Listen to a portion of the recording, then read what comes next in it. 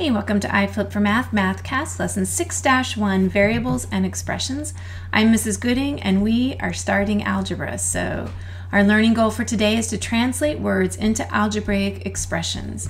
This seems hard, but I think if you just put a little bit of thought into it, you will have a great time doing it.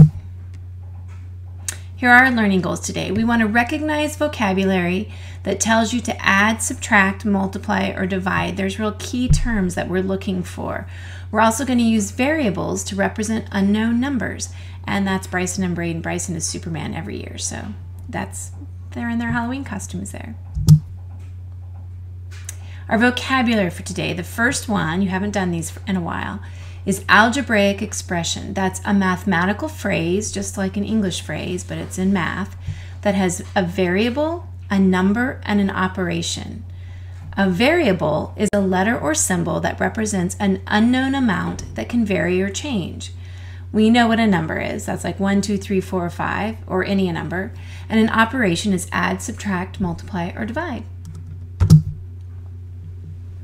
Our first example, we're going to do two different ones because algebraic expressions can be very different if they are using different operations. So we're going to do both A and B. A is twice the number of people. We're going to represent that using an expression. And B is $7 less than the current price. One thing I want to make sure you understand is that an expression doesn't have an equal sign because we're not solving it. We're just representing what the problem is using numbers and symbols and operations.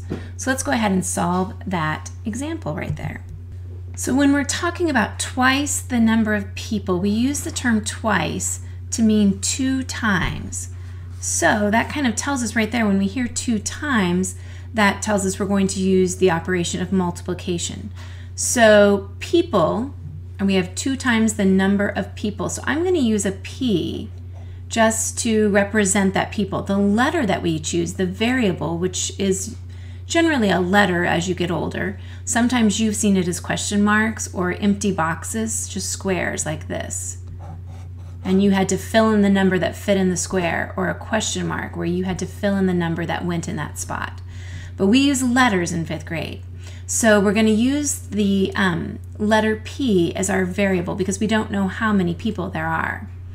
So we're going to say twice means two times P, or we can write this 2P, just like that.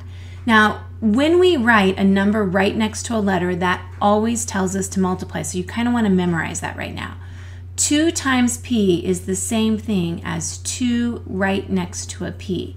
I want you to notice something else. Anytime I write a letter as a variable, I'm always going to use lowercase letters because uppercase, uppercase letters, capital letters, usually are used in formula work, and we're not doing formula work right now. We're just using them as variables to represent an unknown number, as in the unknown number of people here. So 2 times p, or 2p. When we look at the number 7 less than, $7 less than the current price, we, in any word problem, would use less than as a minus symbol because you're saying something is less than something else and you want to find out the difference. We want to know, first of all, are we talking about the $7 is less than the current price or is the current price less than $7? In this case, the current price is the larger amount and the less than, the $7, is actually the less than number. So in subtraction, the bigger number needs to come first in fifth grade. So we're going to use a P for price, in this case, the same variable or letter as we did before, but instead of representing people as we did up here, we're going to represent price.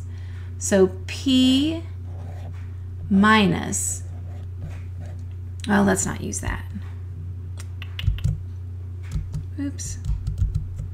P minus 7. I know you're going to make me do push-ups for that mistake since I wrote the dollar sign. And then in an expression, we don't necessarily use the dollar sign because we just have the variable, the operation, and the number.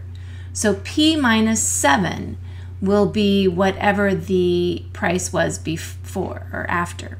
So as we do our practice problems, remember that we're going to be using vocabulary from previous lessons. Words like quotient, which means the answer to a division problem, or product, which is the answer to a multiplication problem. Less than, more than. More than would mean to add, less than would mean to subtract. So in our first practice problem, we're going to subtract a number from 10. Go ahead and try and write that expression out using a variable, the number, and an operation symbol. And then push play when you're ready. Did you write 10 minus n? The 10 comes first because we were subtracting a number from 10. So you should have written 10 minus n. That's the number. We don't know what that number is. We were just representing, representing it using a variable. Let's do another one. The product of 9 and a number. Go ahead and push play when you're ready. Did you write 9 times n or 9n? Remember, if 9 is right next to the letter n, it means to multiply those two together. That would be the correct way to write an expression for the words the product of 9 and a number. Product means to multiply. Let's go ahead and do some more. Add 6 to a number. Let's see what you get here. Push play when you're ready. Did you write 6 plus n? 6 is the number we're looking at. Add means we're going to use an addition symbol, and number we're representing by n. We could actually use any letter to represent the word number, that unknown number. We could use an X, a Y, an A, a B, any number at all. But a lot of times we use n to stand for a number that we don't know what it is.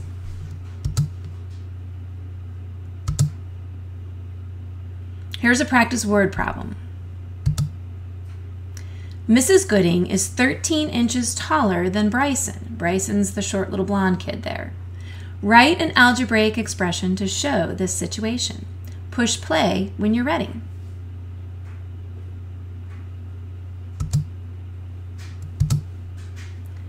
Did you write b plus 13? We want to know how tall Mrs. Gooding is. So we know Bryson's height in inches, or we don't really, but if we knew it, it's represented by n, by b. And then 13 is how many inches Mrs. Gooding is taller than Bryson. Taller is more than, so we would want to add. It's time to challenge yourself. Mr. Gooding spends time each evening making flip videos for Mrs. Gooding's class on the computer. The number of minutes he spends can be represented by the variable v for videos. Write an algebraic expression to represent the time Mr. Gooding will spend designing flip videos on his computer in nine weeks. Remember, there are seven days in one week. Show all of your work in your flip journal and come to school tomorrow ready to check your answer. See if you can also catch my grammar area, error.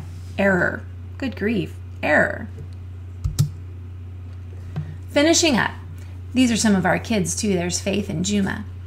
Review your learning goals. Have you mastered them? Do you understand what we're doing? We went through this lesson kind of quickly because there's not a lot of computation involved. When you're writing expressions, you're not solving them, so you don't have to do any adding or subtracting. Write down if you're at a 1, a 2, or a 3 in your learning. And then in your flip journal, write down any questions that you still have. Woohoo for algebra! You've finished lesson 6 1 variables and expressions. We can't wait to see you tomorrow.